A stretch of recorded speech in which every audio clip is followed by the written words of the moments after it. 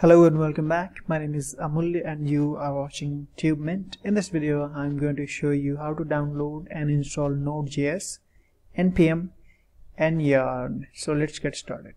So go ahead and open your browser. I'm going to use Google Chrome and then go to nodejs.org and whenever you land on this page you will always have two versions of Node.js. The, the one here on the left is going to be the LTS release and this is going to be the current release with latest features okay? So no matter which one you're going to install I had never any issue with the current one but it's recommended to use the LTS release. So let's go ahead and download the LTS 12.13 and I'm going to save it on my desktop you can change the location from here. So select the desktop and save it. Yeah so 12.13.1 LTS and this 13.20 was just released a few days ago and it's on November the 23rd and as you can see the MSI package node package is almost done downloading. So let's go ahead and run it. Because it's on my desktop so I'll go to desktop and locate this node.js MSI package and I'm going to run it. So to run it you've got two options. You can right click on it and hit install or you simply double click on it. And this is going to start the installation process here we are. If you get something like this smart screen can't be reached right now. You simply have to say run. Then you have to say next. Accept the terms in the license agreement. This is where your node.js is going to be installed. If you want to change you can change it. Otherwise next.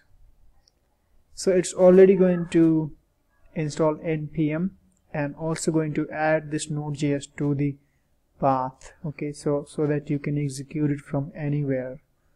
Do not make any changes over here. And then hit next.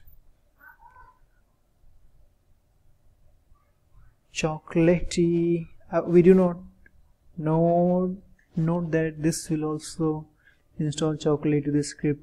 Okay so I don't want to get chocolatey okay go ahead and hit next.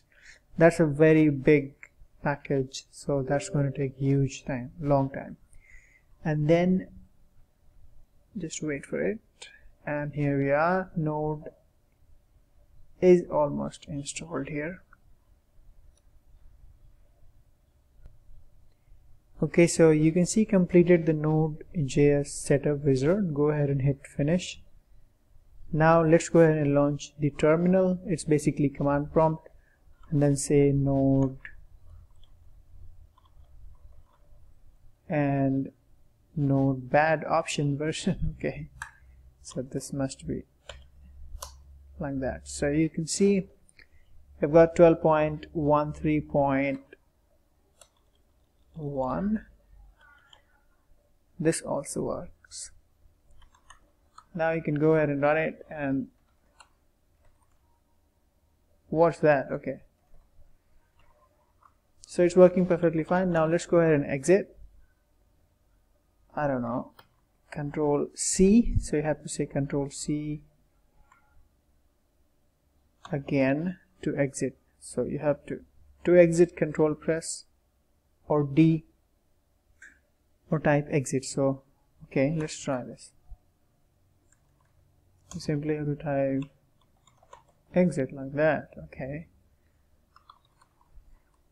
And then we already have npm installed with it so let's go ahead and check.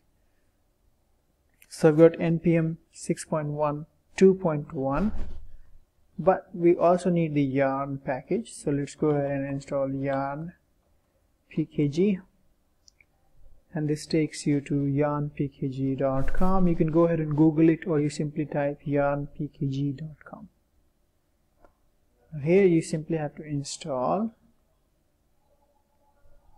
So this has already detected your operating system type and this has this is only 32 bit okay? This is going to be the stable and this is the 90 so always go with stable. Go ahead and download the MSI release for Windows. If you got Chocolatey installed please hold on. These instructions so choco install yarn. You can see yarn has been downloaded so go ahead and just exit. And here we have yarn. Just double click on it.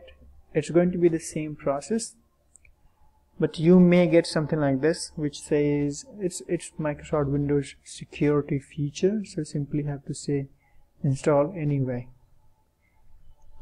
Still it's taking bit time here. Now go ahead and hit install anyway. Then say next accept the license agreement. And this is where it's going to be installed. So it's 32 bit it's not 64 bit.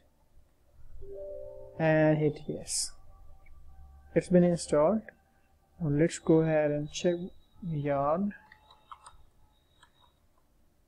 1.19.1 so we've got node.js npm and yarn so that's how you download and install node.js and yarn and npm comes with node.